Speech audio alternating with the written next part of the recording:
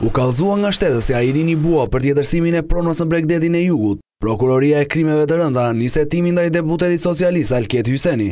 Burime nga policia sqaruan për Report TV se prej dy muajsh janë duke u kryer verifikime në terren nga njësia e posaçme Forca e Ligjit, pas referimit të çështjes nga ana e Prokurorisë për Krime të Rënda. Të njëjtat burime thanë se deri në këtë fazë deputeti nuk është marrë në pyetje, por në përfundim të verifikimeve në terren, Do të vendoset nëse ai do të pyetet në lidhje me akuzat dhe hetimin e zhvilluar ndaj tij. Vetë deputeti e ka mohuar këtë akuzë dhe është shprehur se pasuria e tij dhe trualli i fituar në bregdet janë me burime të ligjshme dhe konform në rregullave.